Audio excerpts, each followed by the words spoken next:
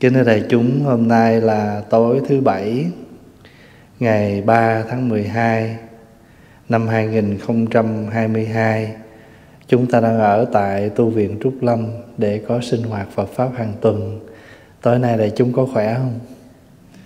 Mấy ngày nay lạnh quá trời. Mấy cái sưởi của chùa từ trên xuống dưới là Sikawe hết.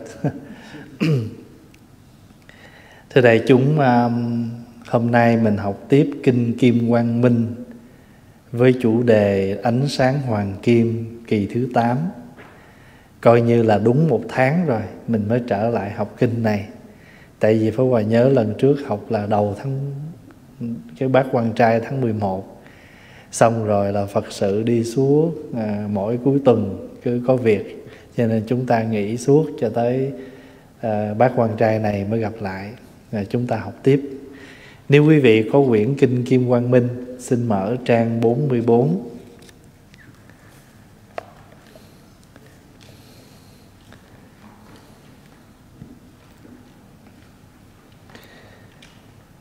Phải không? Phải trang 44 không? Đoạn à, cuối có là bốn Phật nói xong đó Bỗng nhiên biến mất đó Phải không? Phải đoạn Phải trang 44 không? Ừ nói cái đoạn thứ nhì trong trang đó đó. Hôm trước mình à, dừng ngay cái khúc trên à, bữa nay mình bắt đầu học bốn phật nói xong bỗng nhiên biến mất đó. Không không phải trang bốn bốn hả? Mấy? năm mươi bốn. Dạ. Trang năm mươi bốn.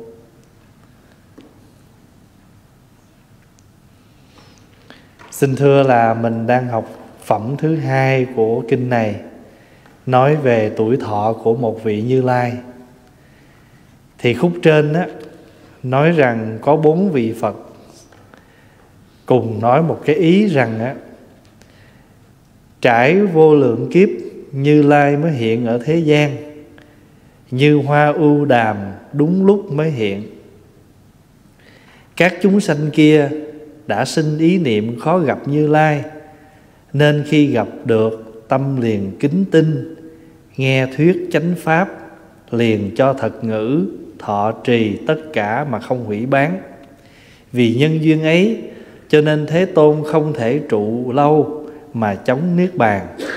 Các đức như lai dùng các phương tiện khéo léo, thế, như thế để giúp chúng sanh thành tựu bồ đề đó là cái đoạn ở trên, hôm trước mình dừng ngay đó đó. Nói lên cái ý là, thật ra đó, nếu nói về một đức như lai là người giác ngộ, là người không bị chi phối của sanh tử thì các ngài không có còn khổ đau hay là sống chết gì nữa hết. Nhưng mà tại vì các ngài muốn cho mình một cái ý niệm là cái gì chúng ta khó gặp khó được, mình mới biết quý. Thí dụ, tại sao gọi là phật bảo? Tại sao gọi là pháp bảo? Tại sao gọi là tăng bảo? Chữ bảo là gì? Bảo là hiếm quý. Ví dụ như trên đời này à, cát, sỏi ngoài đường thiếu gì mà hột xoàn hiếm lắm. Đi mà lượm được cái hột xoàn mù mắt chứ nhiều khi cả đời đi ngoài cũng đâu thấy không?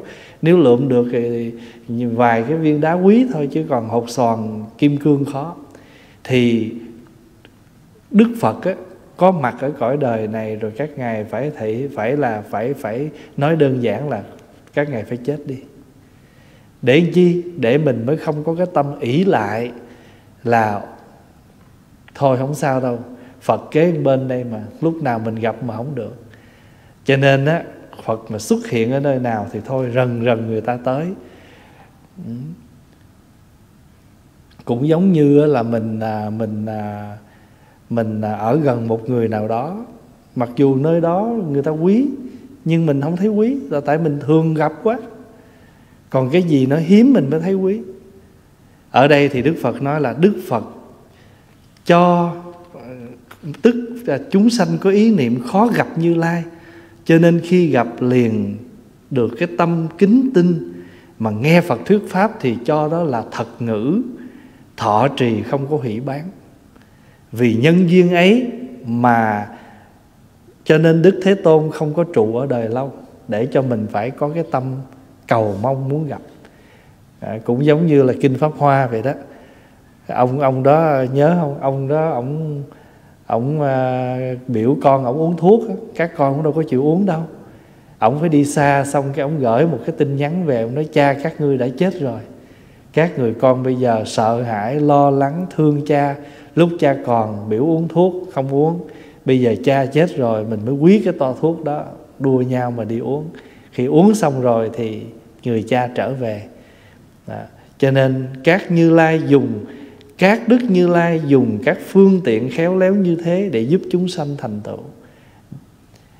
Có nhiều khi nhiều lúc có con mình ở nhà nó đâu biết làm gì đâu cái nó lớn lên rồi, nó 19 20 tuổi, nó đi học, cái nó ra ngoài. Trời, mới đầu mình khổ sở dữ lắm. Mình khóc, mình buồn, mình nói mình làm gì, nói đâu mà nó giận, nó bỏ nhà, nó đi. Mình nói lung tung hết. Tới hồi phone lên pháp quả của nó trước sau thì nó cũng đi, thì bây giờ nó đi sớm mà còn mình ở đây để mình còn nhìn được nó làm cái gì sai mình dạy.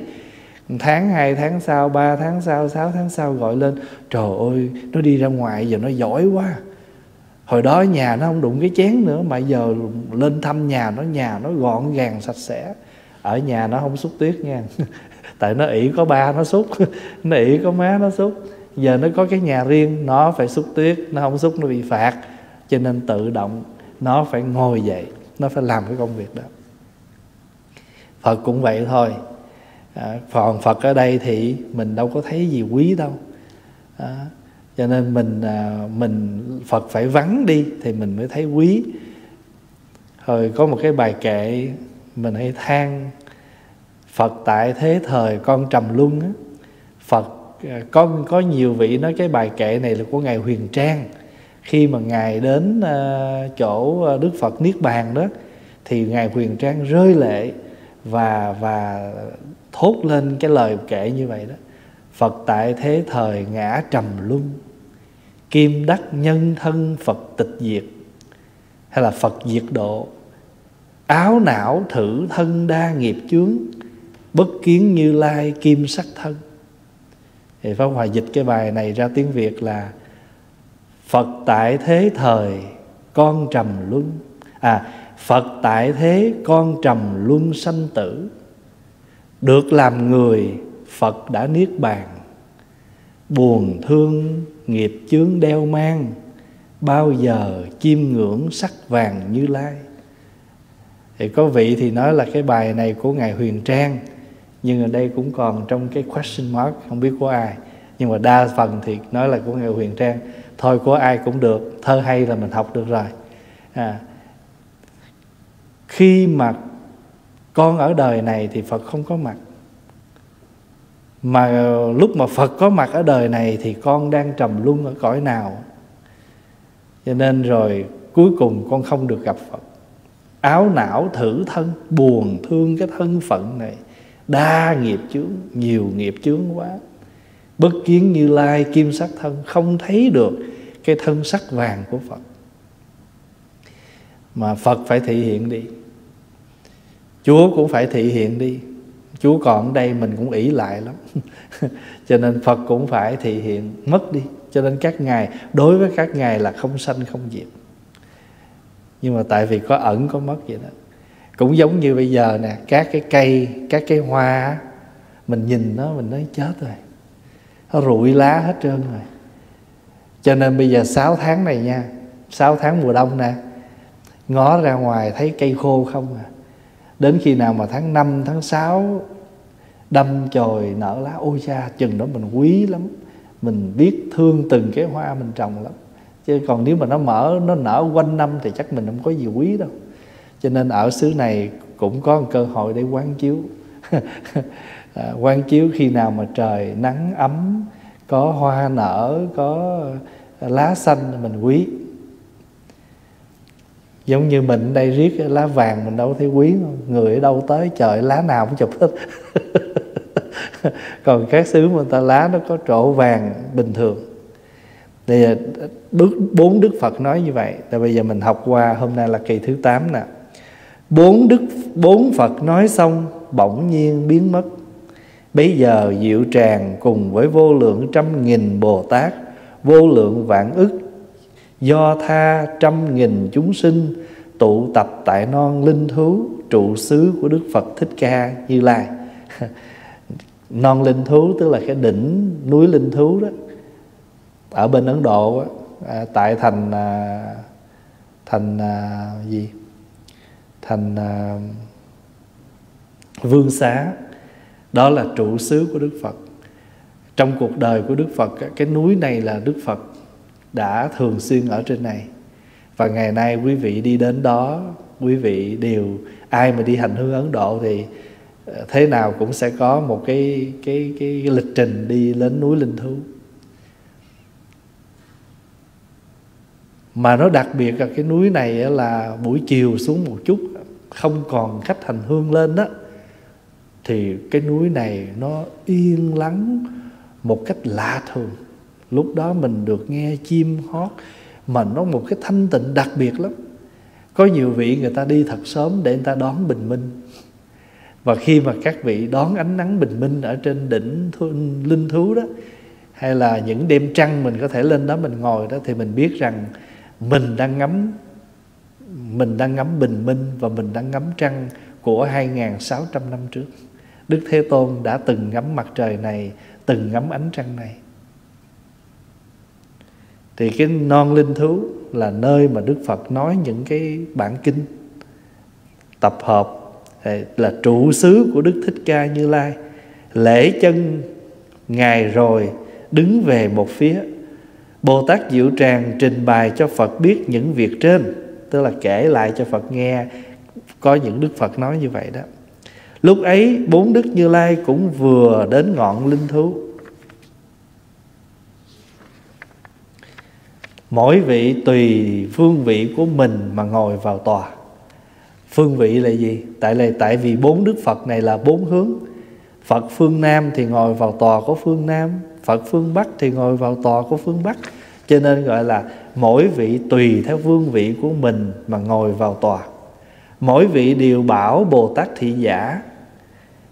Mỗi vị Phật có một thị giả đi theo Và nói với thị giả rằng các ông hãy đến trước Phật Thích Ca Mâu Ni Chuyển lời của ta thăm hỏi. Ngài hẳn không bệnh, Không có nhọc mệt, Đi đứng nhẹ nhàng. Thật an lạc chứ. Chúng sanh mình gặp nhau cũng hỏi nhiêu đây nè. Rồi mình thấy là các Phật gặp nhau cũng hỏi gì? Hỏi nhiêu đó chuyện thôi. Ngài có an lạc không? Ngài có mệt nhọc không? Ngài đi đứng có nhẹ nhàng không? Bữa nào mình mà mà đủ tiền trả bill là đi đứng nhẹ nhàng. Tháng và tuần lễ nào mà đi làm không đủ giờ là là đi đứng nặng nề. Thì, cho nên các ngài hẳn không bệnh, không có nhọc mệt, đi đứng nhẹ nhàng, thật an lạc chứ. Các vị phật nhờ đệ tử mình đến hỏi phật thích ca những câu hỏi như vậy. Lại nói, quý thai quý thai tức là nói xong rồi thì khen phật thích ca như lai nay ngài giảng nói kinh kim quang minh pháp yếu sâu xa của các như lai để làm lợi ích cho khắp chúng sanh dứt trừ đói khát khiến được an lạc chúng tôi cũng sẽ tùy hỷ việc này. À, hỏi thăm phật xong rồi á, thì liền nói với phật rằng á, chúng tôi biết được Phật giảng kinh Kim Quang Minh Phật đang nói Pháp Kim Quang Minh. Đây là cái Pháp sâu xa Để làm lợi ích cho chúng sanh, Dứt trừ đói khát. Ủa, Nghe Pháp mà dính dáng gì tới đói khát? Thì đây không phải là đói khát của cái thân, Mà đói khát của cái hiểu, Cái tu, Cái Pháp.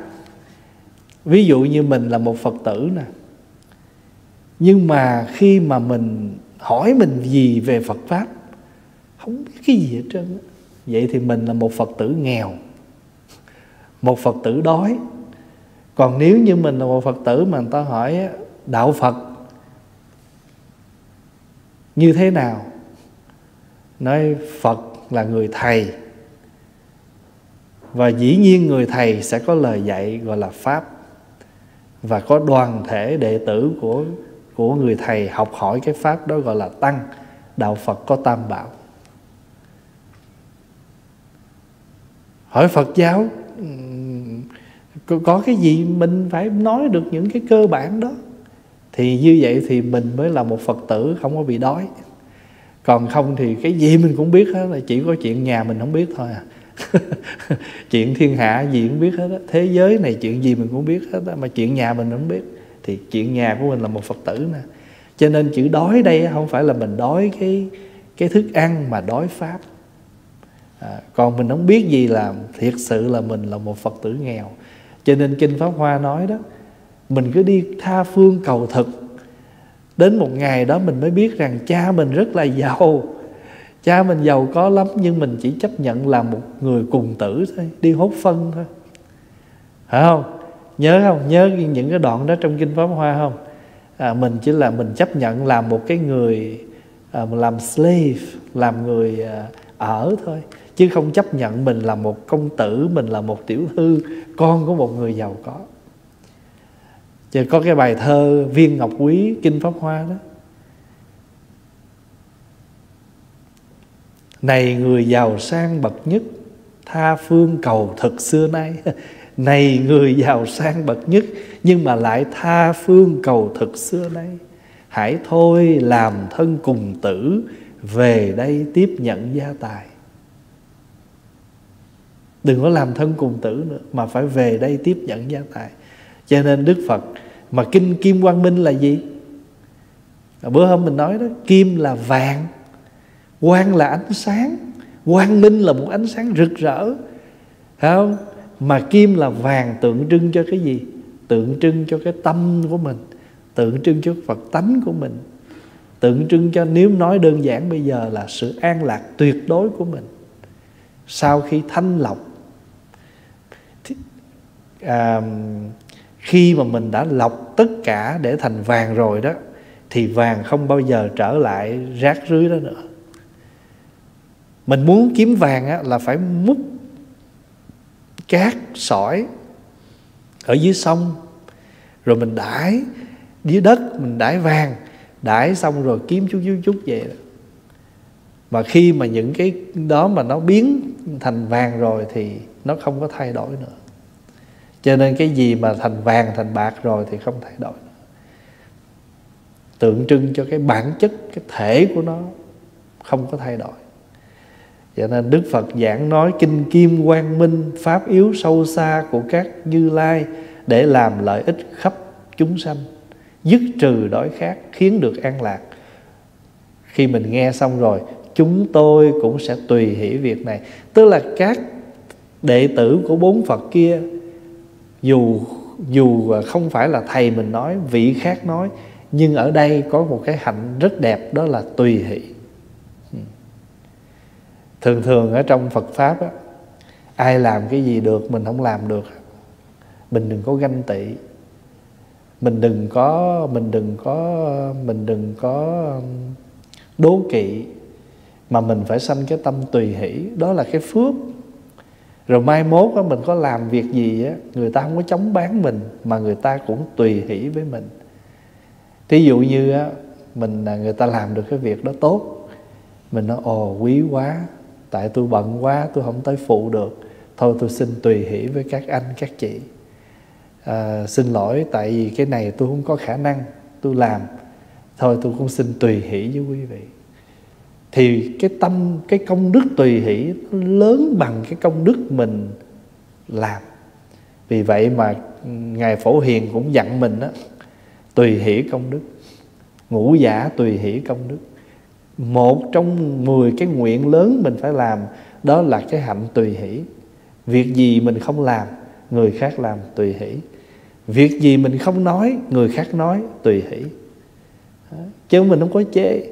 Trừ khi nào người ta nói không đúng pháp. Còn người ta nói đúng phật pháp mà tại sao mình không tùy hỷ?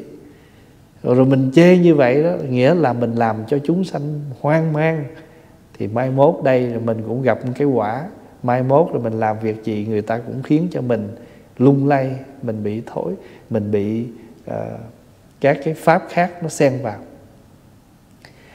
Các vị bồ tát thị giả đến trước thích ca mâu ni đảnh lễ chân ngài đứng về một phía tất cả đồng thưa đấng thiên nhân sư. À, tức là nói đức phật á, ngài là đấng thầy của trời người thầy của chúng con thăm hỏi như lai rất nhiều. Các vị thị giả đến trước phật nói vậy đấy. Thầy của chúng con thăm hỏi như lai rất nhiều hỏi ngài không bệnh hẳn không nhọc mệt đi đứng nhẹ nhàng được an lạc chứ? Các ngài lại nói quý thai quý thai, thích ca như lai, nay ngài giảng nói kinh kim quang minh, pháp yếu sâu xa của các như lai để làm lợi ích cho khắp chúng sinh, dứt trừ đói khát khiến họ an lạc.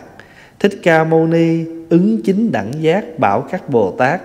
Khi nói như vậy rồi thì đức phật nói, hay thai hay thai, bốn đức như lai vì sự lợi ích và niềm an lạc của các chúng sinh mà lại thỉnh ta tuyên dương chính pháp thế là thế là thích ca như lai nói kệ, tức là đệ tử đến send repeat, nhắc lại cái xem message, thầy mình dặn như thế nào? Mình đến đức phật thích ca, mình nói y lời của đức phật nói. Nói xong thì đức phật thích ca đáp lại, ồ, hay quá hay quá. Bốn vị như lai vì sự lợi ích và niềm an lạc của chúng sinh mà thỉnh ta tuyên dương chính pháp. Là quý vị mới thấy là các phật khác á, tùy hỷ và thỉnh ngài thỉnh đức phật thích ca nói ta thường tại linh sơn giảng thuyết kinh báo này. Linh sơn tức là núi linh thú đó. Vì thành tựu chúng sinh nên thị hiện niết bàn phàm phu khởi tà kiến không tin lời ta nói vì giúp họ thành tựu nên thị hiện niết bàn. Người phàm phu tức là người bình thường, người kiến thức rất bình thường, thì làm sao tin được những cái lời à, chân thật? Cho nên phàm phu khởi tà kiến, không tin lời ta nói, vì giúp họ thành tựu trên thị hiện niết bàn. Bây giờ trong hội có bà la môn. Bà la môn tức là một một cái vị tu theo cái đạo một cái đạo giáo thời đó. Họ kiều trần như, đây là họ nha, họ kiều trần như. Tên là pháp sư thụ ký cùng với vô lượng trăm nghìn phạm chí. Phạm chí tức là những vị cũng tu theo cái phạm hạnh đó. Sau khi cúng dường đức phật thế tôn, nghe ngài nói rằng sẽ vào niết bàn thì đều khóc than, tất cả đồng lễ chân phật rồi thưa.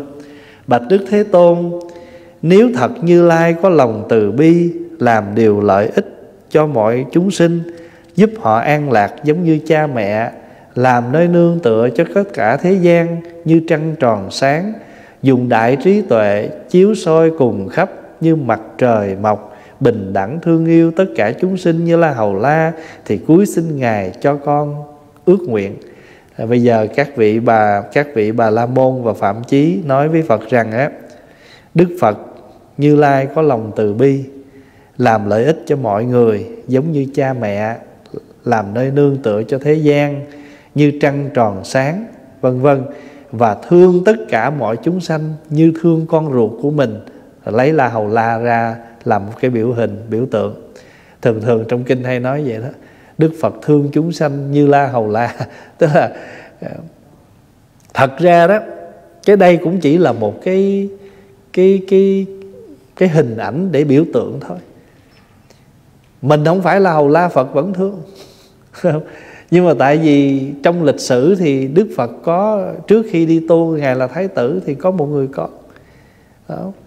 còn nếu mà nói đúng cái đạo lý rồi thì đức phật không còn những cái tâm thân sơ chia rẽ nữa. Đây là con ruột, con con ghẻ gì đó. Nhưng mà người ta đem một cái ví dụ để nói lên phật thương chúng sanh như la hầu như uh, la hầu la. Thì bây giờ phật thương như vậy thì con cuối xin ngài cho con ước nguyện. Bây giờ các vị này muốn xin một cái ước nguyện. Đức phật thế tôn im lặng chờ đợi. Do oai lực phật cho nên trong chúng hội có một đồng tử dòng lê sa.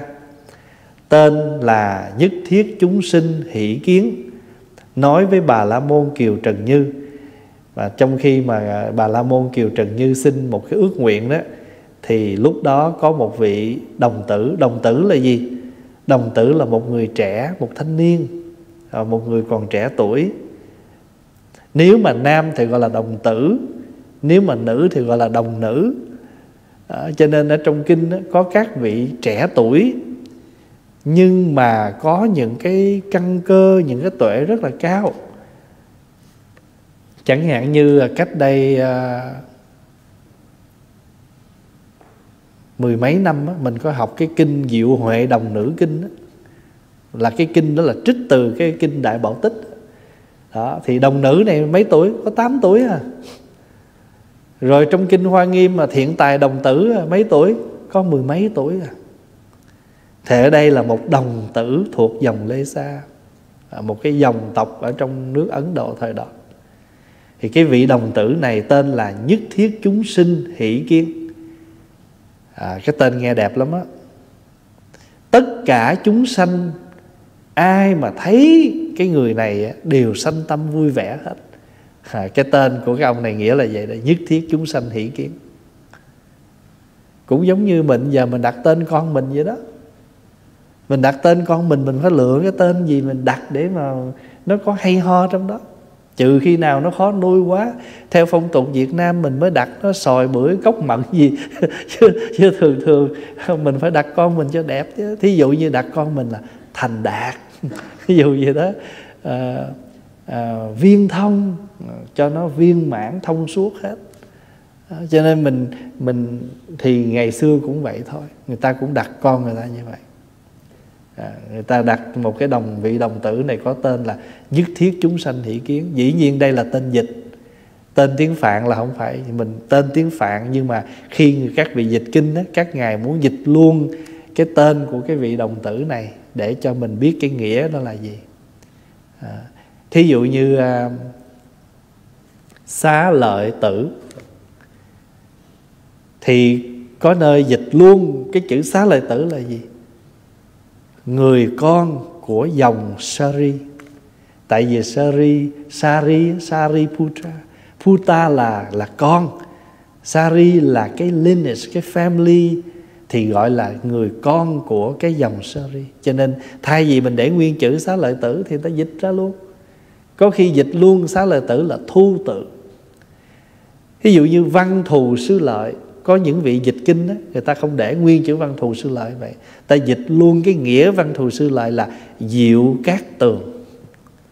Sự cát tường vi diệu dịch luôn cái tên của ngài của ngài văn thù sư lợi là diệu cát tường. Cho nên thỉnh thoảng mình đọc trong kinh mình thấy có vị gọi là diệu cát tường thì biết rằng đây là ngài văn thù sư lợi đó. Ngài a nan chữ a nan là tiếng phạn dịch nghĩa là khánh hỷ. Cho nên có nơi dịch kinh ta dịch thẳng luôn lúc bấy giờ ngài khánh hỷ đứng dậy hỏi phật. Thì mình đọc tới chỗ đó biết à khánh hỷ là ngài a nan đó. Ca diếp dịch là ẩm quan ẩm là uống quan là ánh sáng. Thì cha mẹ của ngài ca diếp đặt tên ngài là do cái sự kiện à, ngài ờ, khi mẹ ngài có thai thì ánh sáng đi vào trong nhà. Cho nên nương cái hình ảnh đó mà đặt tên. Trên đời này cũng có những vị người ta nương một sự kiện đau khổ của người ta mà người ta đặt tên. Thì Pháp Hòa có biết một cô Phật tử, khi mà cổ sanh con, cổ gia đình, cổ rất là đau khổ. Buồn quá, lúc mà sanh người con này buồn quá, cho nên cổ cổ đặt là lệ chữ lệ này của cổ là cái ý là nước mắt. Nhưng mà nó, cái chữ lệ đó, nó còn ở một cái nghĩa khác, đồng đồng âm mà dị chữ, dị nghĩa đó. lệ là gì? Là nguy nga tráng lệ. Chứ không phải lệ là nước mắt không. Lệ là nguy nga tráng lệ là đẹp đó, lệ là đẹp đó.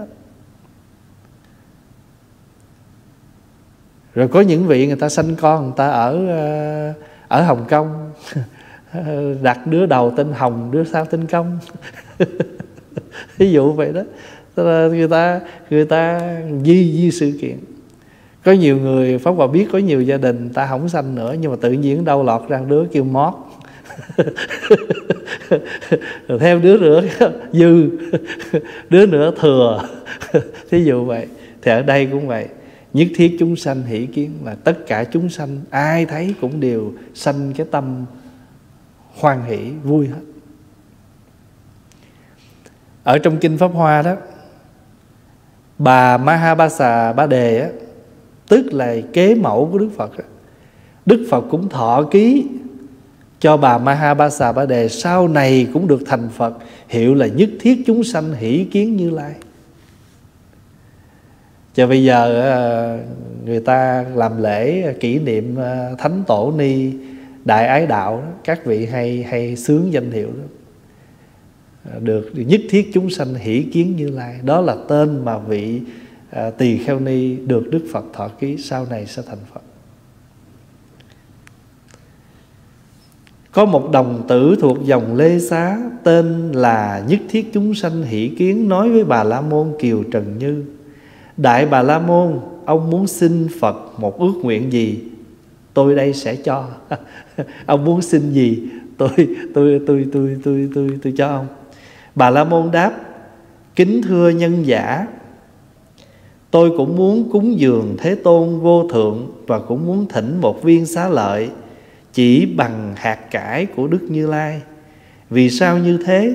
Vì tôi từng nghe, Nếu ai có được xá lợi Như Lai dù bằng hạt cải cung kính cúng dường thì sẽ sinh lên cõi trời đau lợi làm đế thích thiên. À, ông bà la môn kiều trần như không có xin gì hết á không có ước nguyện gì đâu. Chỉ ước nguyện rằng nếu như lai có nhập diệt á mà có thiêu xong rồi á xin ngài cho con một hột một viên xá lợi nhỏ như hạt cải cũng được.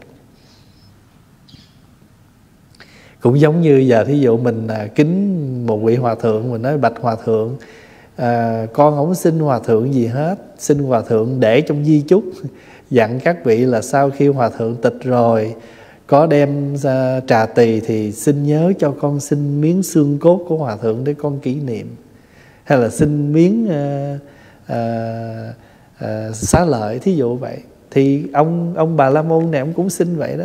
Khi phật mất rồi cho con xin một viên xá lợi nhỏ như hạt cải. Thì ông ông ông à, tại vì ông tin rằng ai mà có xá lợi và cúng dường thì khi chết sẽ được sanh về cõi trời. Hay được làm trời đế thích tức là ông vua của là của của cõi trời. Đồng tử liền nói nếu sinh lên cõi trời nếu sinh lên cõi 33 hưởng phước báo tốt thì nên lắng nghe kinh Nguyên Quang Minh. Kinh này bậc nhất trong các bộ kinh rất khó thấu hiểu rất khó thâm nhập thanh văn độc giác không thể biết được. Kinh này có năng lực sinh ra vô lượng vô biên quả báo phúc đức cho đến thành tựu vô thượng bồ đề. Tôi sẽ lượt nói cho ngài hiểu rõ. Bây giờ ông à, đồng tử nói với ông à, ông à, ông gì? Đồng tử nói với ông bà la môn, kiều trần như á, thay vì ông muốn đi, nếu mà ông muốn đi lên cõi trời á không có gì tốt bằng ông nên học kinh kim quang minh. Xin chi cái vật chất. Bây giờ nói như đơn đơn giản giống mình vậy đó. Thay vì á, mình xin vì đi tìm một viên xá lợi, phải không? Để mình để đó thôi. Không sao mình không học đạo lý, học phật pháp? Mình hiểu rồi đó mình không phải có một viên xá lợi nữa, mà mình có toàn thân xá lợi. Hay nói một cách khác là cả cái tuệ giác, cả cái những cái gì mà Phật dạy, nó nằm ở trong cái cái cái tâm tư của mình rồi. Mình sống được như vậy, nó còn quý hơn là mình có một viên một viên xá lợi nữa. Bây giờ mình đi lừa mình tìm được một viên xá lợi, mình để đó để mình khoe với người ta sao? Mà trong khi đó mình sống không có gì xá lợi hết á mà người ta gặp mình ta xá dài.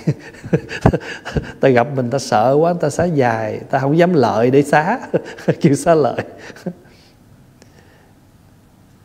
Đó, ông này cũng nói, nếu muốn sinh lên cõi 33 cõi 33 là gì biết không? Là cõi trời đau lợi đó. Đó là một cách khác, nói khác của cõi trời đau lợi, tam thập tam thiên. Vì cõi trời đau lợi là cõi trời thứ 33 trong các từng trời cho nên đây là dịch đó 30 cõi cõi 33 hưởng phước báo thì tốt, thì báo tốt thì nên lắng nghe kim quang minh. Kinh này trong các là, kinh này là bậc nhất trong các bộ kinh, rất khó thấu hiểu, rất khó thâm nhập. Vì nó cao siêu như vậy cho nên thanh văn độc giác không thể biết được. Kinh này có năng lực sinh ra vô lượng, vô biên quả báo phúc đức cho đến thành tựu vô thượng bồ đề. Nếu người nào mà nhận ra được nói cách khác là học kinh quang minh nghĩa là mình nhận ra được mình sống được với cái cái chân thật cái chân thật ở nơi mình đó, đó là kim quang minh đó. Thí dụ như mình sống thành thật không lừa dối không làm những cái điều mà sai quấy đó là mình sống với bản chất của kim quang minh hễ vàng thì phải tỏ ánh sáng thôi. Người chân thật thì tỏ ra chân thật. Người hành thiện thì tỏ ra cái thiện. Người như thế nào nó tỏ cái đó. Nó không phải là vàng thì nhất định nó không có ánh sáng. Còn đã là vàng thì tỏ ánh sáng. Cho nên quý hơn người bình thường không có thấu đáo được. Bà la môn thưa, quý thai quý thai, kính thưa nhân giả kinh kim quang minh vô cùng sâu xa cao siêu khó hiểu, rất khó thể nhập. Thanh văn độc giác còn không thể biết huống gì chúng tôi là hàng phàm phu. Bây giờ ông thấy thanh văn độc giác mà còn không hiểu thì tôi phàm phu, sao tôi hiểu? Trí tuệ kém cỏi. Thật ra cái chữ phàm phu này là vị dịch giả muốn để vào đây để cho đơn giản cái câu kinh đó. Chữ pháp hòa tra trong ờ, bản chữ hán thì trong này dùng cái từ là biên à, là cái người mà biên bỉ chi nhân tức là cái người sống ở nơi biên địa sống ở cái nơi mà ráp danh với nước này với nước khác. Thường thường á người ta hay hay hay ví mình đó là cái người sống ở cái cõi biên địa thì cái chuyện gì nó thường xảy ra? Giặc giả. Thí dụ bây giờ nước khác mà qua đánh trong city thì phải đánh đây trước. Cho nên mình là người chết trước nè. Mình là cái người khổ lắm. Mà biên địa thì thường là thiếu thiếu thốn giặc giả lắm. Cho nên người ta hay giờ hay nhận người ta. Biên bỉ chi nhân tức là cái người mà sống ở cái nơi biên địa. Vì dịch cái kinh và muốn để cho mọi người đơn giản dễ hiểu thì vị dịch giả chúng tôi là hàng phàm phu. Thật ra nó cũng cái nghĩa đó, đó. Cái nghĩa mà thường thường đây là những cái từ khiêm cung. Thí dụ như người ta khiêm cung á người ta đâu có tưởng là tôi đây người ta nói sao? Bỉ nhân. Bỉ nhân tôi, tức là tôi là cái người dở lắm. Bỉ nhân tự mình xưng mình vậy.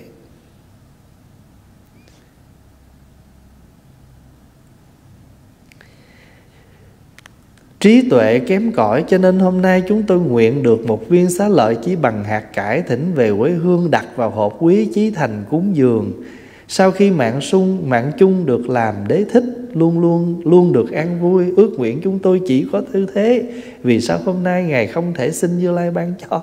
Thôi thôi đừng có biểu tôi học đừng có biểu tôi tu gì tôi chỉ muốn đơn giản thôi. Cho tôi viên xá lợi tôi về tôi thờ được rồi. Đừng có biểu tôi vô chùa tụng kinh tu hành gì hết giờ cho tôi cái tượng phật tôi về tôi lại được rồi. Kiểu như mình giờ vậy đó. À, hay là nói ờ, hoặc là có nhiều vị thí dụ nè đi lên chánh điện nghe giảng đi thôi thôi thôi. Tôi nghe không hiểu gì đâu thôi để, để tôi ở dưới bếp để tôi ở ngoài sân đi. Cái kiểu như là mình không dám nghĩ rằng mình có thể làm được. Hoặc là mình biểu đi quy y thôi thôi. Tôi còn tội lỗi lắm. Tôi đứng trước phật tôi cảm thấy tôi tội lỗi. Cái đây là mình không dám mình không có dám mạnh dạng phát huy. Chứ thật ra mình có khả năng nếu mình không có khả năng tâm tư hiền lành đó sức mấy mình vô tới chùa dù chỉ để làm công quả thời gian này ông đi chơi sướng hơn sao? Phải không? Thành thử mình đã bước chân vô chùa mà làm công quả rồi đó Nghĩa là mình cũng đã có cái tâm lành lắm rồi đó. Chứ thiếu gì thời gian để tôi đi làm việc khác chứ mắc chi tôi vô công quả. Nhưng mình chịu cực chịu khổ làm công quả là mình biết đó, đó như ngày hôm nay đó không mấy anh là ở ngoài lạnh là suốt cả gần 10 tiếng đồng hồ để mà tìm mọi cách mà mà chữa cho được cái cái máy sưởi. Giờ này mình mới ngồi đây nổi nè.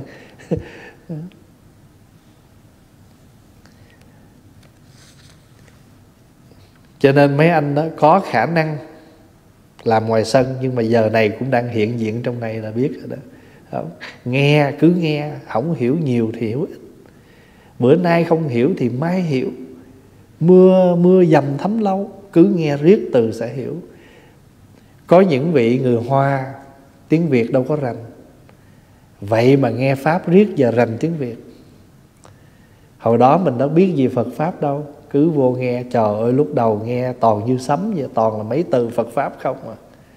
Cái gì thanh văn, độc giác, tứ đế, nhân duyên gì nghe không thấu nổi, nhưng mà nghe riết từ từ từ từ nó cũng giải được hết hôm qua có nghe em phật tử nó nói với pháp hòa thầy ơi con học uh, học giáo lý mà con học tới tứ diệu đế càng về sau này là con đọc con không hiểu gì hết. Pháp hòa nó không sao chỗ nào không hiểu tiếp tục đi tới. Cái nào không hiểu để đó rồi mình đọc tiếp. Đâu có một quyển sách nào mình đọc mình hiểu liền một lần đâu. Mình đọc nó một lần đó rồi mình đáo trở lại mình đọc đọc riết càng đọc là mình lại càng phát hiện ra nhiều thứ trong đó. Cũng giống như mình nấu ăn thôi đâu có một món nào mình nấu một lần mà siêu đẳng đâu.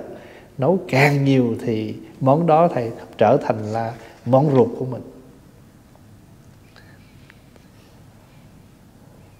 À, ông ông ờ, ông ờ, ông bà la môn kiều trần như này nói, nói tôi không hiểu nổi đâu. Thôi cho tôi viên xá lợi cho rồi tôi đi về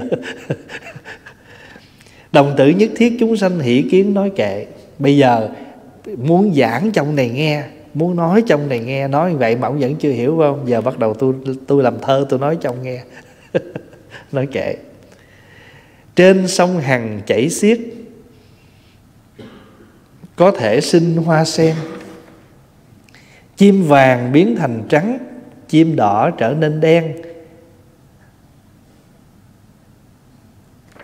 Ông ông à, ông đồng tử nói thường thường á, nước sông hằng á, chảy rất mạnh. Ví dụ như nếu mà nước sông hằng mà chảy mạnh á, thì quý vị cứ nghĩ nước chảy như vậy thì làm gì hoa nào mà mọc được ở đó?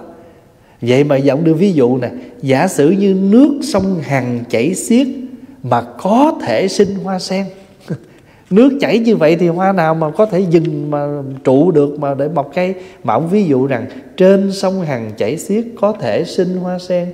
Chim vàng biến thành trắng con chim vàng mà biến thành màu trắng con chim đỏ mà biến thành màu đen. Giả sử cây chim bạc cây chim bạc tức là cây uh, jumbo à, nó là một loại cây. Cây loại cây này á, là một cái loài hoa nó màu vàng và nó thơm à, nó thường nó mọc ở cái vùng nhiệt đới của ấn độ. Bây giờ đưa ra giả sử cây chim bạc là một loại cây ha sinh ra quả đa la. Nếu mà cái cây này á mà nó lại sinh ra cái quả đa la hai cây nó dính dáng gì nhau đó giống như mình nói giả sử như cây sòi sinh ra được cây khế trái khế chuyện đó không bao giờ có không? Mà giả sử được như vậy đi. Giả sử như là con chim vàng nó biến thành trắng con chim đỏ nó trở thành đen. Cây chim bạc mà được sinh ra cây đa quả đa la.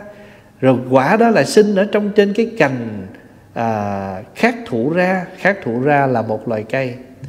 À, và cái cây này cái quả nó cái đầu nó như ngón tay vậy đó. Và cái quả nó có cái vị ngọt người ta hay dùng nó để người ta ủ làm men rượu. Trên cành khác thụ ra lá am la xanh tốt cái lá am la nó nó nhỏ thôi nó không có lớn. Vậy mà nếu mà cái lá am la xanh tốt này những à, những việc này thật hiếm tức là những cái việc ở trên rất là hiếm cũng có thể xảy ra. Nhưng xá lợi thế tôn chẳng thể nào có được. Hoa mọc ở trong nước sông hằng chảy xiết nè chim vàng đổi thành trắng chim đỏ biến thành đen cây chim bạc mà ờ, sanh ra quả đa la rồi trên cành của cây khác thụ ra rồi có lá am la. Thí dụ mình nói bây giờ mình nói đơn giản là giả sử như cây sầu riêng mà mọc ra trái khế rồi à, nó ở trên cái khi đó lại có cái lá mai à, rồi à, có lá hồng không dính dáng gì nhau hết trơn á. Tự nhiên cây khế mà có lá của bông hồng cây sầu riêng mà nó qua, ra quả sòi mấy cái chuyện đó làm sao xảy ra? Vậy mà giả dụ như nó xảy ra đi, xá lợi phật của không có dễ đâu mà có. Giả sử dùng lông rùa, đã đưa, ông đưa một cái ví dụ ra và cái ví dụ thứ hai nè.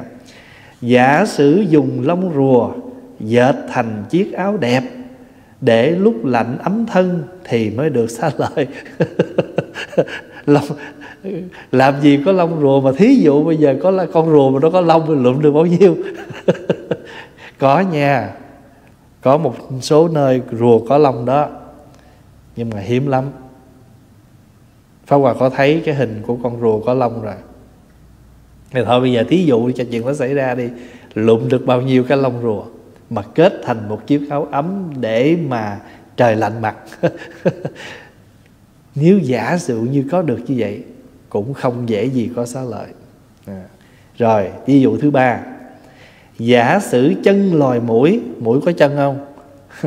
Giả sử chân lòi mũi biến thành tòa lâu đài, ví dụ nó có cái chân, thì cái chân con mũi bao lớn? Vậy mà bây giờ nó biến thành một cái tòa lâu đài, vững chắc không lay động, mới cầu được xá lợi. Chuyện hiếm quá cái này ở trong kinh gọi là gì biết không? Hy hữu. Hy hữu.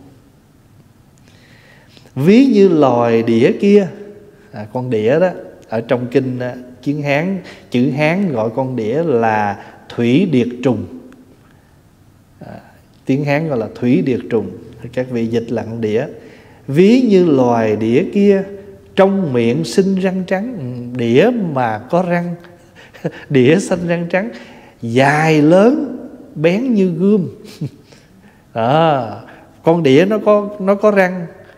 Nhưng mà cái răng nó mình làm sao mình thấy được? Vậy mà bây giờ con đĩa mình này mà nó xanh ra có răng trắng vừa dài mà vừa lớn mà vừa mà bén như gươm nữa mới cầu được xá lợi. Rồi cái cái thứ nữa ha. Giả sử dùng sừng thỏ. Thỏ có sừng không? giả sử dùng sừng thỏ mà nếu ví dụ sỏ có thần đi, làm thành chiếc thang dài, bắt lên tận cung trời mới cầu được xá lợi. Lấy cái sừng con thỏ mà chất lên ờ, đi lên tới cõi trời. Rồi, bây giờ ông đưa cái ví dụ nữa. Ông này ông cắt cớ quá. Đúng là đồng tử. Đồng tử là gì? Còn trẻ, thanh niên trẻ đầu óc nó nhạy bén quá, cắt cớ quá. Ví như chuột leo à, ví chuột leo thang này, con chuột mà nó leo thang á, nó đánh đuổi được loài tu la đó, hay là nó che, nó ngăn che vào nhật nguyệt mới cầu được xá lợi. Nếu con ruồi say uống rượu, nếu ruồi uống rượu say, bay khắp các xóm thôn, xây dựng nhiều nhà lớn mới cầu được xá lợi nếu sắc môi của lừa đỏ như quả tần bà, có ai thấy con lừa chưa?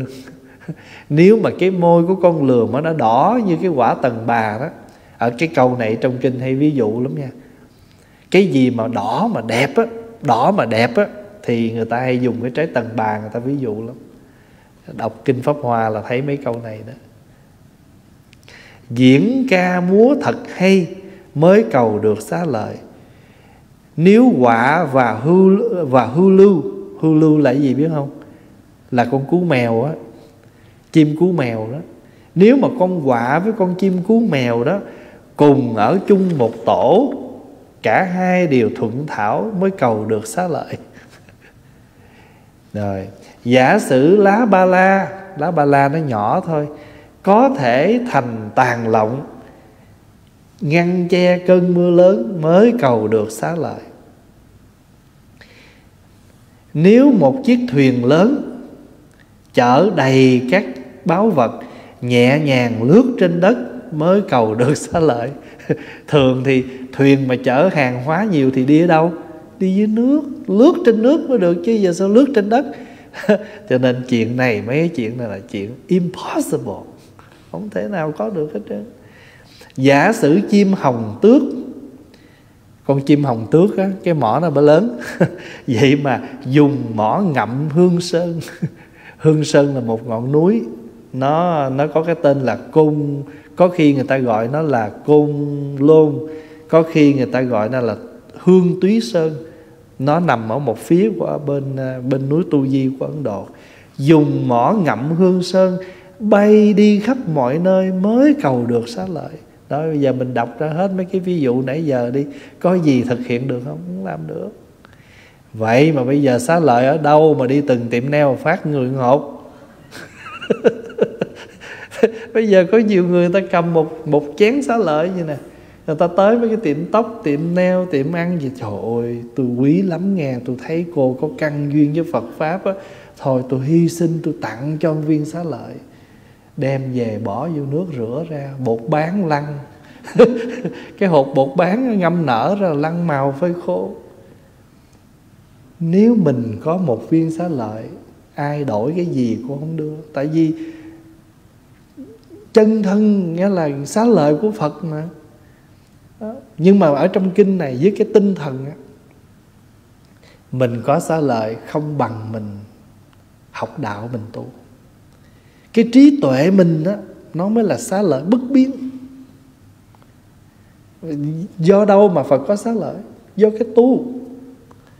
Thật ra bây giờ mình mà có được cái tuệ giác, Cái hiểu biết rồi đó, Thì đó chính là xá lợi của mình đó. Giả sử chim hồng tước Dùng mỏ ngậm hương sơn Bay đi khắp mọi nơi mới cầu được xá lợi. Bây giờ hết xá lợi của các vị ờ, Phật rồi. Trời có nhiều người có xá lợi của ờ, Ngài Na Tiên. Xá lợi của các vị a la hán xá lợi của bảy đức phật luôn.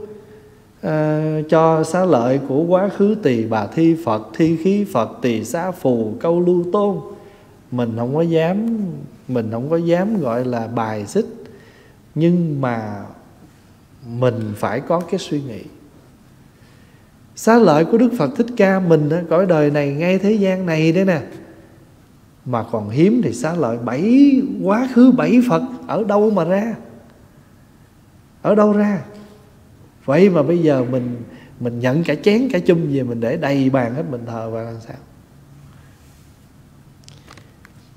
Bây giờ ông này ông nghe bài kệ này, nghe bài kệ này, pháp sư thủ ký cũng dùng kệ đáp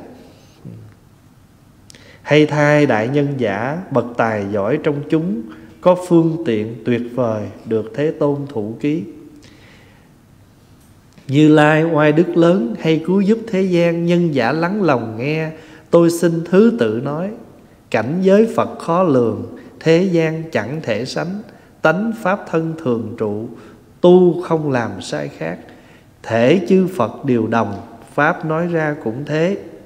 Chư phật không do tạo lại cũng vốn lại cũng vốn không sinh. Thế tôn thân kim cương tạm hóa hiện thân này. À, bây giờ cái ông pháp sư thụ ký ông đáp lại. Ông đáp lại ai? Ông đáp lại với đồng tử. Tại nãy giờ đồng tử đưa những ví dụ đó. Bây giờ ông này ông đáp kệ ông nói lại với đồng tử rằng thưa đồng tử à, nhất thiết chúng sanh hỷ kiến. Ông là bậc tài giỏi có phương tiện tuyệt vời được thật thọ ký. Bây giờ xin nhân giả lắng nghe, tôi xin thứ tự nói. Cảnh giới phật khó lường, thế gian chẳng thể sánh. Cảnh giới là gì? Mỗi một chúng, mỗi một người chúng ta đều có cảnh giới của mình. Thí dụ bây giờ đại chúng ngồi đây nè, tâm tư quý vị nghĩ gì? Quý vị đang sống với cảnh giới của mình đó. Ai biết được không biết được. Cho nên người phàm mình làm sao thấu đáo được cảnh giới của phật? Cảnh giới phật khó lường. Coi bây giờ thí dụ bây giờ thế gian mình nói chung là cảnh giới này là cảnh giới của chúng sanh mình Rồi cảnh giới chúng sanh mình là sống làm sao mỗi ngày? Ăn, mặc, ngủ, nói, nghe, đi vệ sinh vân vân nhưng mà cái cảnh giới này nè, đụng vô chuyện gì là phiền não chuyện đó. Ngủ không đủ, nổi quạo nè. Ha, rồi thức dậy ha, mà không đánh răng, không rửa mặt, không ai chịu nổi nè. Mà đánh răng, rửa mặt sạch sẽ thôi, chưa đủ nè, phải kiếm bao nhiêu thứ trét lên nè. Không rồi bắt đầu là tùy theo sự khen chê của người ta nè. Trời ơi, mình mặc cái áo thiệt là đẹp vậy đó mình rất hài lòng mới vừa đi ra ngoài gặp tao nói trời bữa nay mặc cái áo gì thấy ghê vậy? Đi vô thay liền. Đi vô thay liền mà có thể từ nay về sau không bao giờ mà người ta sẽ thấy mình mặc cái áo đó nữa. Tại vì mình bị người ta nói, anh mặc cái áo này không có hợp. Chị mặc cái áo này không có hợp. Rồi là không bao giờ thấy mặc nó nữa. Tiếc dữ lắm, lỡ mua rồi. Đối với mình nó rất là đẹp. Mình ướm vô thử rồi, mình thấy nó đẹp mà cho nên cái cảnh giới chúng sanh mình đó nghĩa là đất nước nào, con người nào cũng sống giống nhau thôi. Cũng ngủ rồi cũng thức, cũng ăn rồi cũng đi vệ sinh, cũng nói đủ thứ giống nhau hết. Nhưng mà không có việc gì của chúng sanh này mà không có phiền não hết. Đến nỗi cảnh giới thế gian chán quá giờ vô tới cảnh giới trong chùa, chu cha ơi, nó y hệt ngoài luôn. Mà nếu không tu là nó còn terrible hơn nữa đó, đó, quý vị thấy cảnh giới không? Cho nên cảnh giới của phật là không có này. Cái cảnh giới này là cảnh giới của thế gian. Mà đã là thế gian rồi bất quá nó thay tướng nó thay tên thôi chứ còn cái bản chất cái pháp cái tánh của thế gian nó vẫn không thay đổi.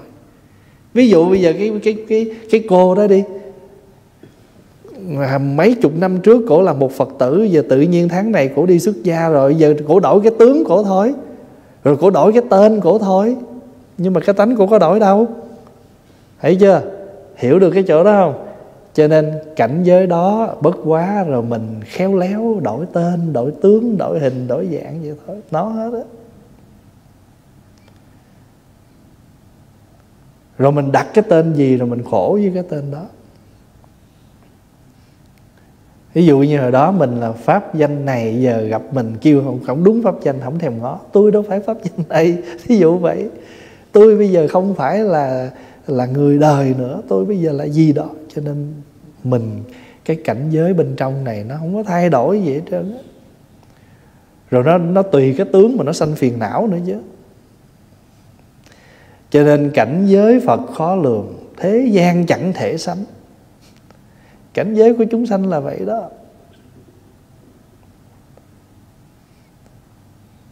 Cảnh giới của phật á, là người ta thấy ai làm gì hay người ta tùy hỷ.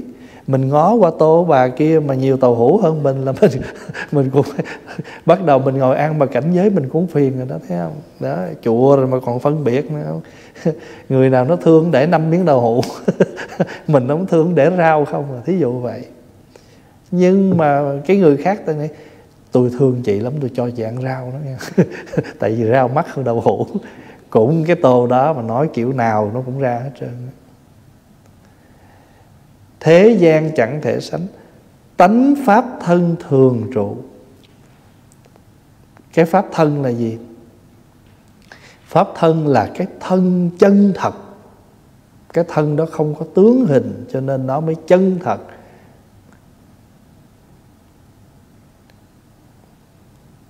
Còn ứng thân là gì?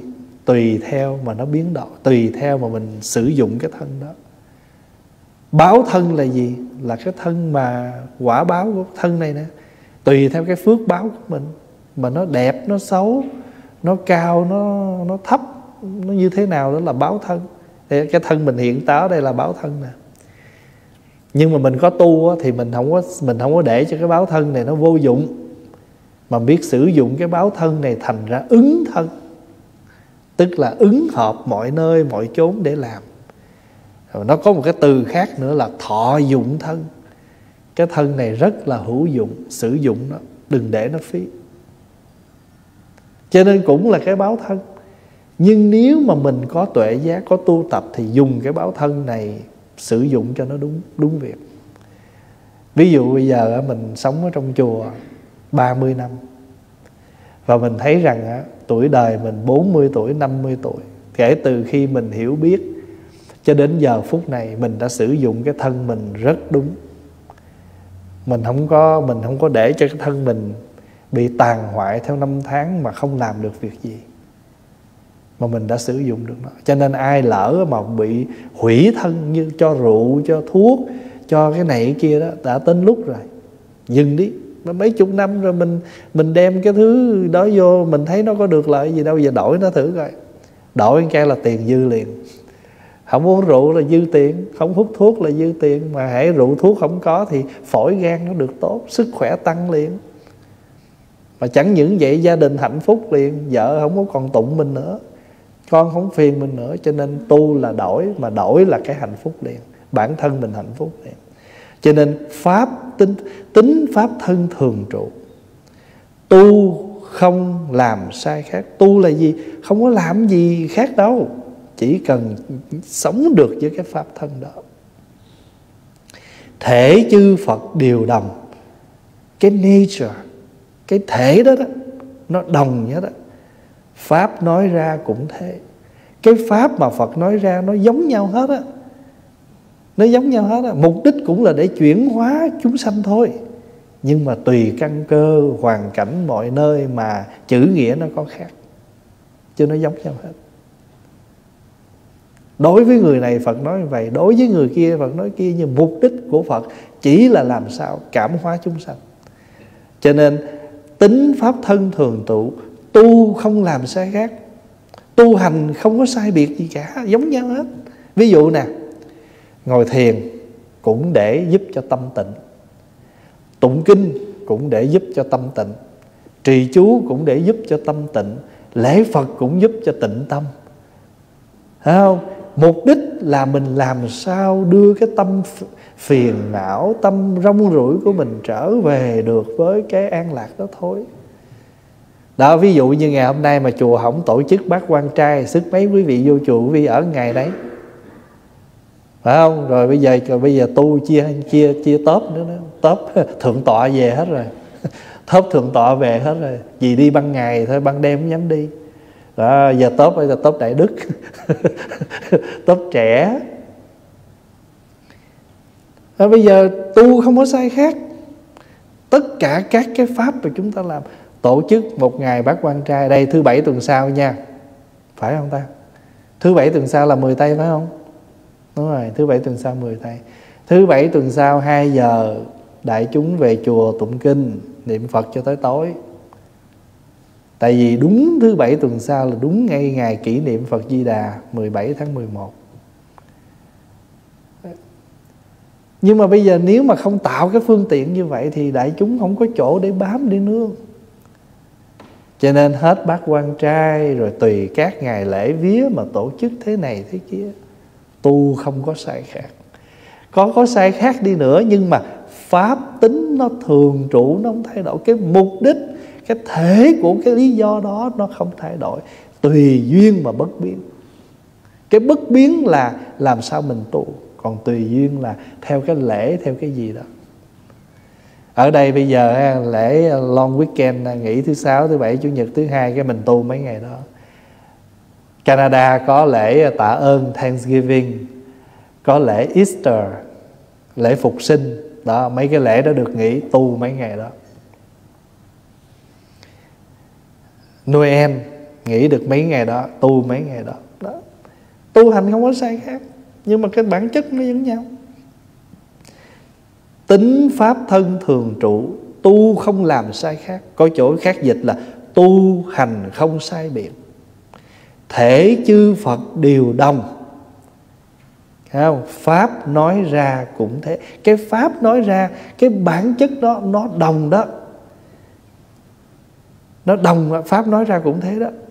Chư phật không do tạo, lại cũng vốn không sinh. Không có không có tạo tác, không có sinh khởi. Thế tôn thân kim cương, cái thân của phật là thân kim cương bất hoại. Nhưng mà tạm hiện hóa thân này. Tạm hiện cái thân này. Tại vì cái thân này là thân gì? Thân vay mượn tạm bỡ thôi. Cho nên xá lợi phật không phải như hạt cải. Ông đi tìm cái xá lợi của phật như hạt cải, chi cho nó uống tìm chi cái hạt cải đó thôi. Cho nên xá lợi phật không phải như hạt cải.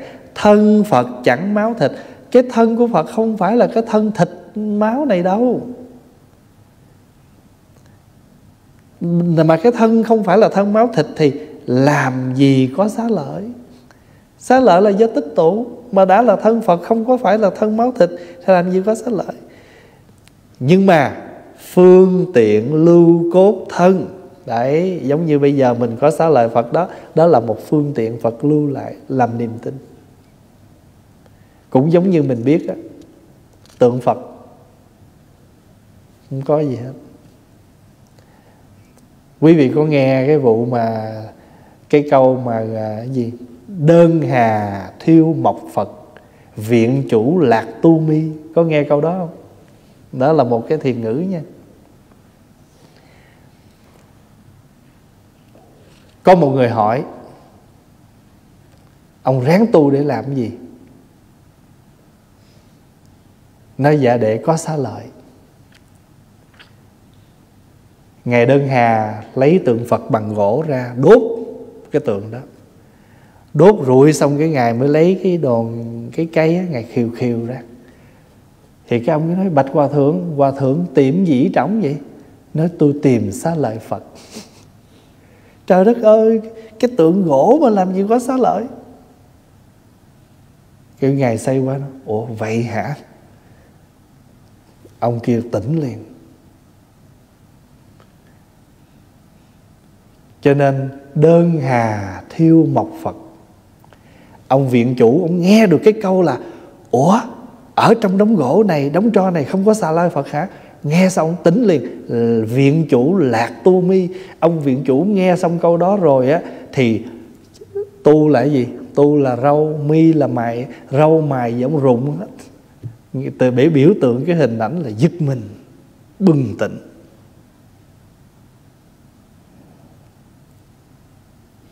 Có bao giờ mà mình nghe cái gì hay quá, mắt mình trố lên không? Có nhiều khi hay quá, coi kẻ lương nó coi phim trưởng mà nó đánh nó đánh quá trời quá đất. Đánh vèo vèo mà há mỏ ngồi nhìn phim. Há miệng coi coi. Há miệng trố mắt. Thân phật chẳng máu thịt, làm sao có xá lợi? Nhưng mà phương tiện lưu cốt thân vì lợi ích hữu tình. Cho nên chẳng qua là một phương tiện thôi. Tượng phật không có gì, nhưng mà có công năng giúp mình định tâm, đưa tâm mình hướng về.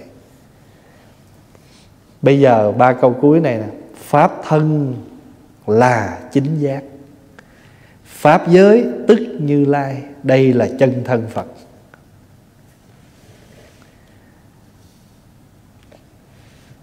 Pháp thân á, tại mà mỗi người mình có ba thân phải không? Cái thân mình hiện có là Báo thân.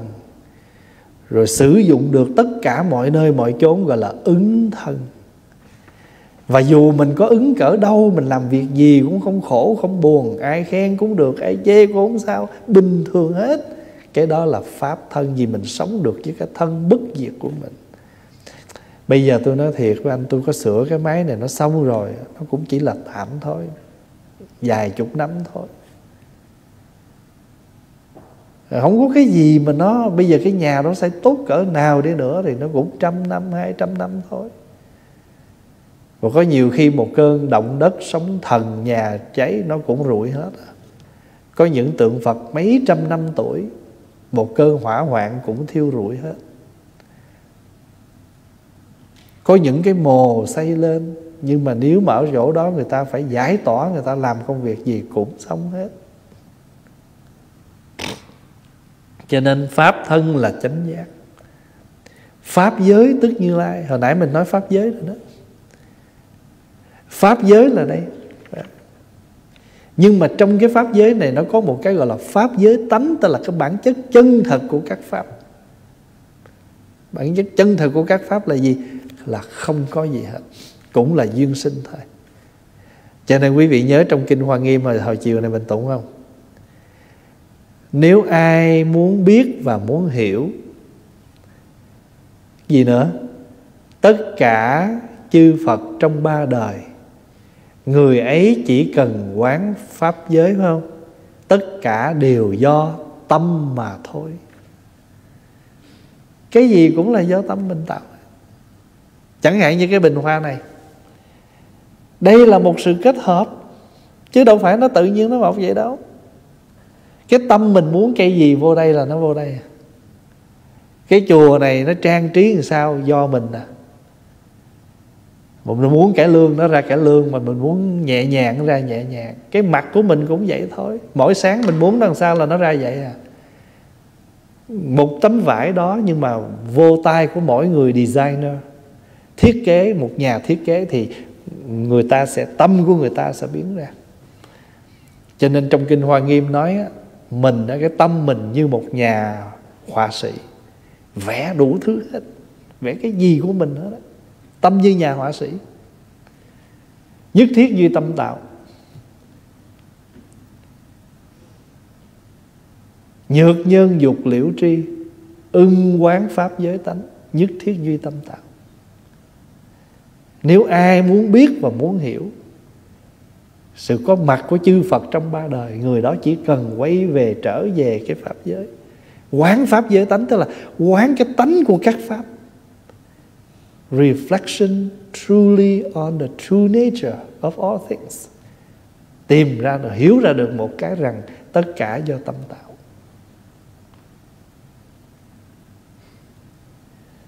Mình muốn mình muốn cái gì nó ra đây? Ví dụ như mình nấu món đó đó, mình muốn cay là mình thêm ớt. Mình muốn mặn thì mình thêm muối, mình muốn lạc thì mình giảm muối, mình muốn ngọt thì mình thêm đường. Cũng là cái món đó. Ủa, sao món này cay vậy? Tại tôi thích. Có nhiều người ta nói, món này ăn đâu có ăn cay vậy? Không, tại tôi thích cay. Cái món này người ta phải ăn mặn chứ sao ăn ngọt? Dạ tại tôi thích ngọt. Mình thích gì mình ăn đấy mà. Bánh cam đường, bánh cam đường, ăn vậy thôi. Mà tôi tôi thích nước cốt dừa, tôi chan nước cốt dừa lên ăn được không? Ăn được, ngon lành như thường. Pháp thân là chánh giác, pháp giới tức là như lai. Tại vì như lai là gì? Như lai là bất động, là không thay đổi. Cho nên pháp tánh tức như lai. Hai chữ này là hai nhưng nó cùng một cái nghĩa đó đó. Như là như như bất động, lai là nó có thể đến đi tùy duyên.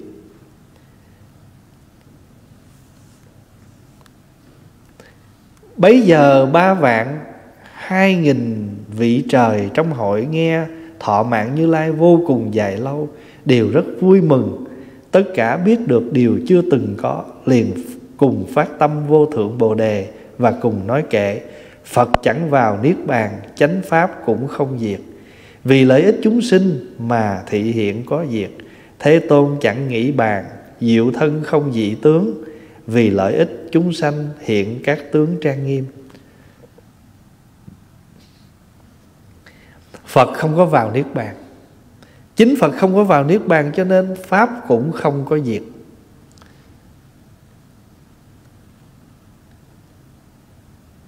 Cho nên bây giờ mình hay dùng cái từ Thời mạt Pháp đó.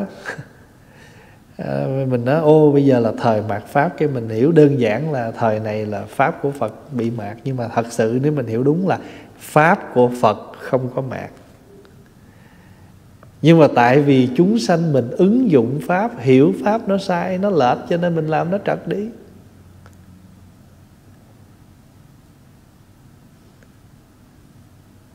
Ví dụ như á, là cái trà nó rất là ngon. Nhưng mà tại vì mình không biết cách pha, cho nên khi pha rồi uống nó, trời ơi, cái trà này hư rồi. Trà này không có hư. Chẳng qua là tại cái cách pha trà mình không đúng cho nên nó hư, nó bóng ngon thôi. Chứ anh pha đúng là nó vẫn ngon.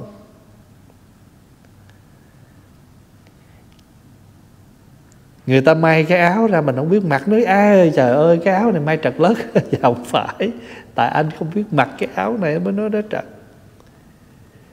Mình không phải là vua cho nên đâu biết mặc lông bào. Bữa đó lén vô cung vua lượm cái lông bào ra về, mặc hoài mặc không được. Cái áo quỷ gì mà mặc không được. trong kinh bách dụ Phật có kể câu chuyện đó đó. Có cái người đó đi đi trộm được cái áo lông bào về. Phật nói ví dụ vậy đó. Mình đi lượm cái pháp của người ta về, mình làm cái pháp của mình thì đâu có trúng. Mình không hiểu là phải rồi. Cho nên mình hãy tu cái gì mà mình đúng cái cách của mình. Mình là người việt nam. Có quy y thọ giới cũng thọ giới quy y bằng tiếng việt mắc cái gì mình đi theo tiếng tây tạng? Mặc dù người ta đâu có sai đâu, nhưng mà mình không hiểu tiếng người ta thì mình quy được cái, mình có cái gì để đi vào trong tâm thức mình đâu. Chứ mình không có nói tây tạng là trấn nha. Nhưng mà tiếng tây tạng thì người tây tạng hiểu. Mình không phải là người tây tạng thì làm sao mình hiểu vị thầy đó truyền cái gì cho mình, nói cái gì cho mình? Mình lặp lại y chang nhưng mà mình không có một cái feel. Mình không có nhận ra được từ cái tâm thức của mình cho nên nó trật lắc à. Nó không có vô được cái gì hết bây giờ mấy đứa nhỏ quý vị thấy nó lên quy y biểu nó nói theo. Quy y phật nó cũng nói theo nó đâu hiểu mình nói gì đâu. Bây giờ muốn nó hiểu không? Nói cái tiếng của nó. Nó nói tiếng anh mình nói tiếng anh. Nó nói tiếng pháp mình nói tiếng pháp. Nó nói tiếng uh, tây ban nha thì mình phải học tiếng tây ban nha mình nói với nó đó, bây giờ ở chùa mình có hai ông đạo ổng nói tiếng pháp nhiều hơn tiếng anh. Bây giờ cả chùa mà rặn nhau đi đi nói chuyện với mấy ổng ví dụ đó. Bây giờ mà mình xây qua một chú mà đã sinh sống ở đây nói tiếng anh trơn tru ngọt lành không có gì trở ngại mà bay xây qua ổng là mình rặn từng chữ vậy đó. Giống như hôm rồi có bà kể có cái em ở người Đài Loan tới đây trời ơi muốn giúp ẻm là thôi nó mở cái phone lên. Rồi rồi rồi rồi nó nói một câu tiếng hoa. Rồi bắt đầu nó bấm vô cái mình mình nghe lại nó dịch tiếng anh. Rồi cái mình nói tiếng anh nó dịch là tiếng tàu. Nói hồi cái nó mờ hoặc là nó nó xong cái chuyện nó cất cái phone vô. Pháp Hòa đi kiếm nó muốn nói chuyện với nó ngoắt nó lại cái chỉ chỉ cái phone mày đâu, cái nó móc cái phone ra, cái chỉ chỉ vô. Cái đó mới hiểu mình nói gì nó chuyển qua tiếng Anh, tiếng Tàu đó, không có ngôn ngữ là chết giấc vậy đó. Cho nên gọi là sinh ngữ. Ngôn ngữ của sự sống. Còn cái gì mình không sử dụng nữa là tử ngữ. Còn đang sử dụng thì gọi là sinh ngữ. Đi học sinh ngữ. Language. Current current language có chỗ người ta nói, ô ờ, ờ, ngôn ngữ để sinh hoạt. Đúng, cũng đúng thôi. Không có ngôn ngữ là không có sinh hoạt gì được hết. Quơ tay, quơ chân không. Dạ. Cho nên pháp thân là chánh giác, pháp giới tức như lai. Đây chính là chân, đây chính là chân thật, cũng gọi như thị pháp như thị pháp là gì? Khi mình hiểu ra rồi á, thì các pháp nó như vậy như vậy thôi, không có giải thích. Ví dụ nè, nếp là một pháp. Hấp lên cho đủ, nở là một pháp. Trộn đủ men là một pháp. Rồi đem ủ nó trong một cái độ ẩm đúng. Phải không? Thì như thị cơm rượu, như thị hấp như thị men, như thị số lượng men trộn, như thị độ ẩm thì nó ra như thị cơm rượu. Tất cả các pháp mà cho nên trong kinh pháp hoa nói thập như thị đó. Như thị tướng, như thị tánh à, như thị thể, như thị duyên, như thị nhân, như thị quả rồi cuối cùng là tất cả các pháp nó rốt trước sau rốt ráo như vậy. Dịch là bổn mạc cứu cánh. Quý vị nghe cái bài nhìn đời bằng thập như thị. Đức phật dạy trong kinh đó, như thị tướng như thị tánh như thị thể như thị lực như thị tác như thị nhân như thị duyên như thị quả, như thị báo, và cuối cùng là rốt ráo như vậy. Ví dụ cái bàn, đấy, như thị tướng, phải không? Như thị thể là gỗ, như thị tướng là cái bàn, như thị gỗ, như thị thể là cái gỗ. Như thị lực nó có khả năng nó để những cái vật gì lên đây. Và cái sức mạnh của nó, cái lực của nó có thể đủ để đến một cái số lượng cân nào đó. Như thị nhân là gỗ, là đinh. Như thị duyên là hợp lại. Để có được cái bàn. Rồi giờ mình hỏi hỏi hỏi hỏi, như ở đâu ở đâu? Nó bây giờ có ai mà đi rình cơm rượu nó ra lúc nào? Có có nước không? Không có. Cũng giống như mình xài máy lạnh vậy đó. Tại sao mình ghim điện vô, mình bật cái máy lạnh nhỏ nhỏ trong phòng mình mà không hề có nước gì mà tại sao trong quá trình mình sử dụng máy lạnh nó có nước? Nó có hơi ẩm.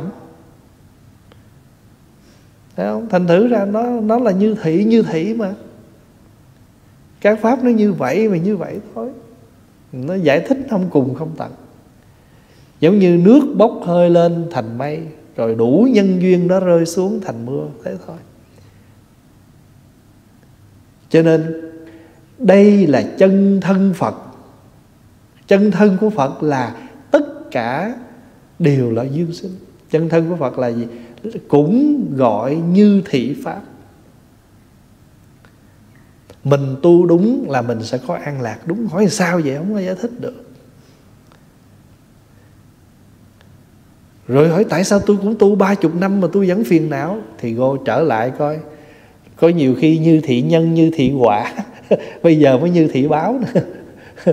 Còn nếu mà mình tu đúng thì như thị nhân, như thị quả thì nó như thị báo thôi. Tại sao cái trái này bữa nay nó ngon, đẹp vậy? Tại mình làm đúng nước, đúng lửa là nó ra như vậy còn mình nói ra không đúng.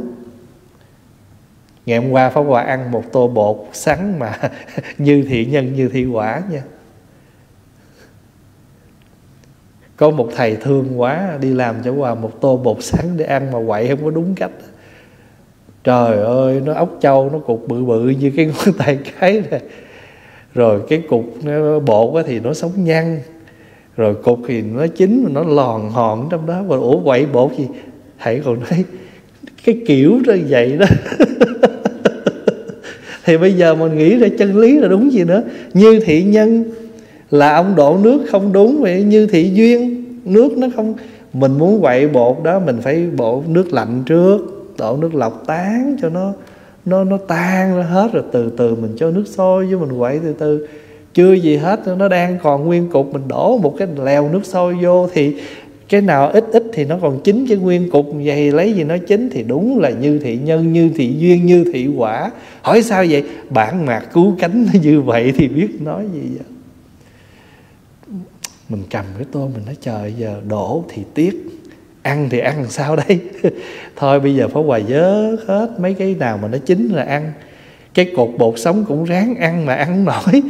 Đổ nước vô, bấm microwave thử coi nó tan, nó đấu tán giờ nước nó lỏng nó lỏng chọt vậy thôi. Phải không? Cho nên mình làm đúng là nó sẽ đúng, mình làm trật thì nó sẽ trật. Như thị như thị. Cho nên hỏi, tại sao con người chết? Ủa, thì con người có sống, con người có chết rồi. Tại sao nó khổ vì chồng thì tại nó có chồng? Chứ nếu nào không có chồng, đâu khổ gì chồng. Ủa, tại sao nó khổ vì yêu? Tại nó yêu hỏi tại sao nó yếu, tôi yêu nhiều nó yếu. Cái pháp này nó vậy thì cái pháp kia nó như vậy. Mình có cái nhà là nó nó cái chân, cái duyên là là nó sẽ có cái quả của cái nhà. Đó là mình khổ theo cái nhà. Mình có cái xe, mình có cái gì thì nó phải có những cái phụ thuộc của nó mà mình làm trúng thì có thể nó sử dụng được thời gian. Thí dụ mình có thân nếu nói cho cùng rốt ráo của cái thân này trước sau là chết. Nhưng nếu mình biết tác cái duyên cho nó tốt thì nó trong thời gian nó chạy tốt. Còn nếu mình không biết tác, thí dụ như xe mà không đổ xăng đổ nhớt thì nó cũng lết nó lan vậy nhưng mà chừng thời gian thôi là nó banh tại vì nó không đúng cái kiểu của nó. Nhưng mà cho dù mình có đúng đổ đúng xăng đi nữa thì một thời gian sau nó cũng phải tiêu. Vì bản chất nó là do các cái máy khác nó ráp lại. Mình à, nghe ở đâu có thuốc gan mình cũng uống nè, thuốc phổi mình cũng uống, nghe cái gì bổ là mình tẩm vô hết. Kêu là tẩm bổ mà. Thấy không? Nhưng mà trước sau rốt ráo gì cái thân tẩm bổ này nó cũng phải có ngày nó sụp đổ bản chất nó vậy đó. Nhưng mà nếu mà mình tác duyên cho nó, khá một chút thì nó last long chút. Hay là trong quá trình nó chạy nó chạy tốt. Ờ, máy chạy nó nghe nó không kêu, tại vì mình đổ đúng đúng cách của nó. Chứ không có gì hết đó còn các pháp nó là như thị như thị vì vậy cho nên là khi mà các vị mà mất rồi đó, ở trong chùa Phật giáo Bắc truyền có cái lời khai thị hay lắm đứng trước quan tài dỗ trước khi nói, mình cũng nói với cái vị đó nha. Hôm nay các vị, chúng tôi đây là đồng môn pháp phái với quý vị. Trước khi tiễn biệt nhau, có mấy lời?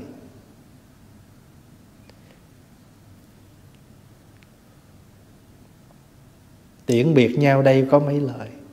Rồi bắt đầu mới nói ra nói ra các cái pháp sanh diệt như vậy đó. Ngày xưa từ đâu đến, sáng nay đi về đâu. Tích niên,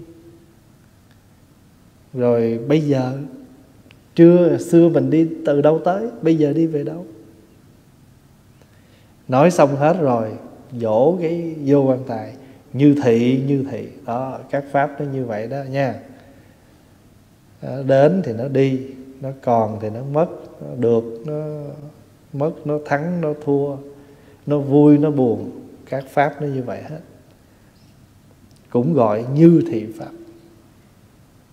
Đức Phật gọi là các pháp nó có 10 cái như vậy. Cho nên nhiều khi mình có buồn gì đó, cuối cùng mình ngộ ra được chân lý. Các pháp là như vậy cho nên Pháp Hòa có làm một cái bài thơ trong trong cái câu thơ cuối đó có hai câu. À thì sống để mà chơi, chết thì trở lại ra khơi về nguồn. Sống giờ mình làm gì, mình thấy mình làm serious lắm, mình làm nghiêm túc lắm, nhưng mà thật ra như chơi thôi. À thì sống để mà chơi, chết thì trở lại ra khơi về nguồn mình đi về nguồn thôi. Nguồn của mình là đất, nước, gió, lửa. Mình có xây dựng cỡ nào đi nữa, rốt cuộc rồi mình cũng đất, nước, gió, lửa. Mình có làm bao nhiêu đi nữa rồi mình cũng lõm đó thôi. Rộng thì ba thước, hẹp thì hữu nó cũng có như thị như thị.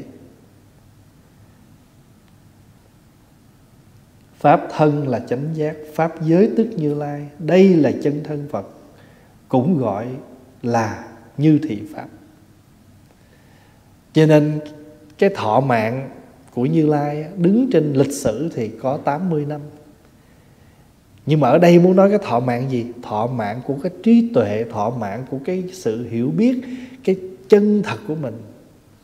Cái này nó không tướng, đã là không tướng thì không có sanh diệt gì hết. Nó không già trẻ gì cả. Người trẻ cũng có thể hiểu giống nhau người già cũng hiểu giống vậy. Tướng thì có thay đổi nha tướng thì có phân biệt nha đây là tướng già, đây là tướng trẻ, đây là tướng nam, tướng nữ. Nhưng mà trí tuệ nó vô mỗi người nó giống nhau một đứa con nít mà nó hiểu biết, nó vẫn hiểu giống mình. Nhưng mà người lớn tuổi vẫn chưa hiểu được cái chỗ nó muốn bị, nó, con nít nó hiểu. Thí dụ như mình nói tại sao nó biết cái gì mà nó vô chùa nó tu? Tại mình nghĩ sao? Phải lớn mới biết, phải không? Nhưng mà mình lớn vậy chứ mình biết trật lắc hết trơn à. Mình vẫn còn chưa biết đời là vô thường. Còn nói nhỏ mà nhiều khi nó biết. Ngài, quý vị nào có dịp đọc lại câu chuyện của ngài hám sơn? Ngài hám sơn. Ngài là một trong bốn vị cao tăng của cuối đời nhà minh. Và ngài có cái công chấn chỉnh lại rất nhiều những cái bại hoại trong Phật Pháp vào cuối thời nhà Minh ở Trung Quốc. Người ta thường gọi là Minh Mạc Tứ Đại Sư. Cuối đời Minh có bốn vị đại sư hám sơn, ngẫu ích, liên trì và tử bá, bốn vị và ngài hám sơn từ nhỏ là ngài đã có những cái ngộ tính rất đặc biệt. Có dịp quý vị đọc cái câu chuyện đó, đường mây trên đất hoa. Cái quyển sách đó tên đó đó, đường mây trên đất hoa, tức là nói về cuộc đời của ngài hám sơn. Hám sơn chỉ là hiệu của ngài chứ không phải là pháp danh. Pháp danh của ngài hình như là trừng ấn. Đức thanh ngài hám sơn còn có pháp danh là đức thanh tự là trừng ấn, hiệu là hám sơn. Và từ nhỏ ngài đã có những cái rất đặc biệt. Chín mười tuổi thôi mà ngài đã có được những câu hỏi mà mẹ ngài cũng chịu thua. Cho nên cái đó đâu phải người lớn mới có thể. Cái đó nó không sanh không diệt không tướng không gì hết. Cho nên ở đâu nó cũng cái thể nó giống nhau. Đã là trí tuệ rồi thì ở trong đứa con nít ở trong người lớn giống. Nhưng cái tướng của con người mình đó, có mập có cao có lùn tại vì do mình ăn thôi. Do mình sinh ra thôi. Nhưng mà trí tuệ thì không có hình tượng. Thôi bữa nay mình dừng đây bữa khác mình học tiếp.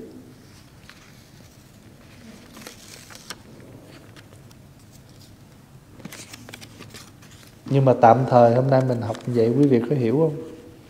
Hiểu được những đoạn trong kinh. Mời đại chúng à, hồi hướng nha. Ngày mai sáng à, chúng ta có giờ ngồi thiền 6 giờ và 6 giờ rưỡi chúng ta lại Phật.